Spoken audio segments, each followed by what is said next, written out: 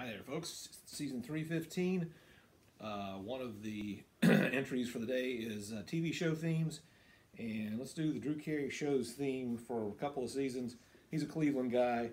This is my World Series cap from 1995 when the Indians were in the World Series. As you can tell, it's a 22 year old cap. Anyway, here we go. A song called Five O'Clock World.